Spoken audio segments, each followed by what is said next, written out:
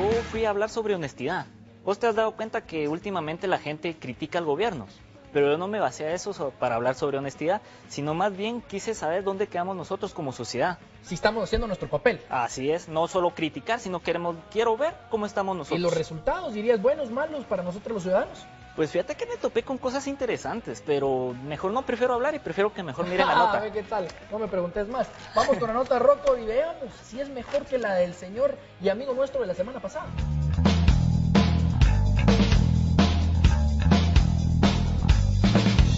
La gente se queja que el gobierno, políticos y autoridades de Guatemala son un poco, o digamos bien, deshonestas. Pero nosotros como sociedad, ¿en qué lugar quedamos? Por lo tanto, entraremos a este centro comercial para ver la opinión de nuestra gente chapina y de igual forma ponerlos a prueba con ciertas situaciones cotidianas de día por día. Yo soy Rocco, vamos a verlo. ¿Usted qué opina si los guatemaltecos somos honestos?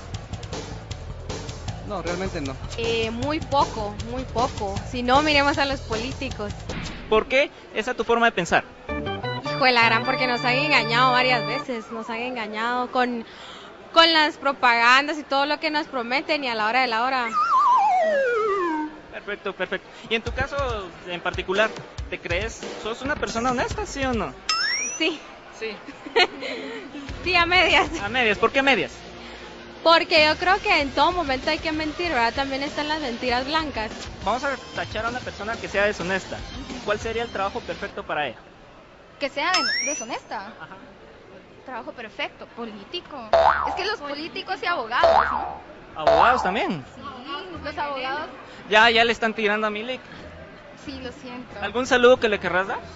Eh, lo siento, pero... Pero no es comunicador.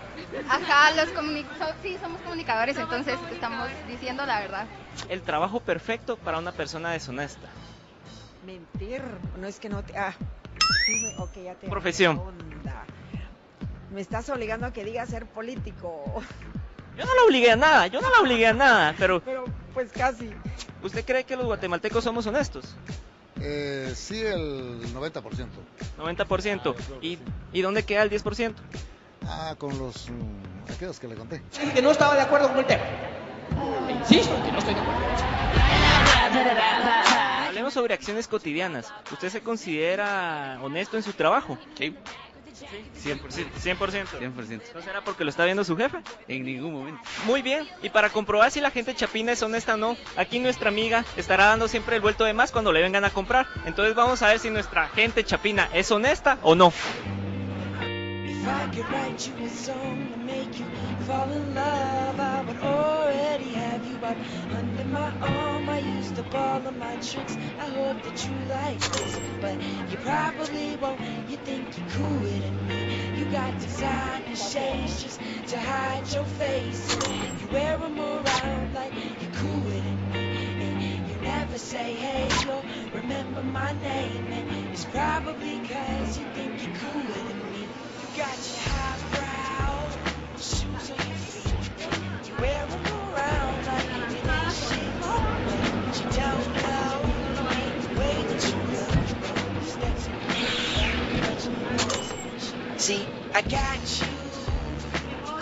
Muy buenas tardes. Aquí estamos haciendo una encuesta. Estamos hablando sobre honestidad. ¿Usted cree que los guatemaltecos somos honestos? Pues la verdad que es un 75%, ¿va?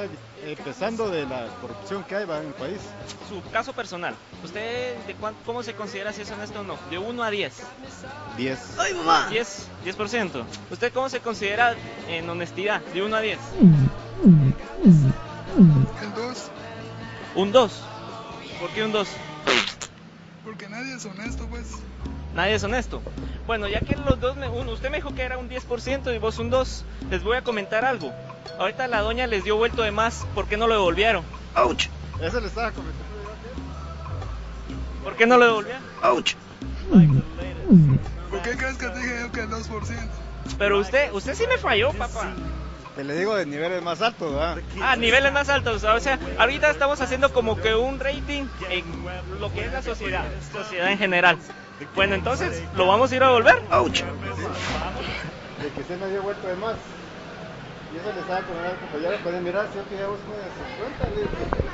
Pucha, que dije yo, ¿cómo está eso, vamos? Pues, me dio... Ay. Ahí está, porque aquí le di uno de a, de a 50 aquí enfrente. Chica, déjeme que me da 20.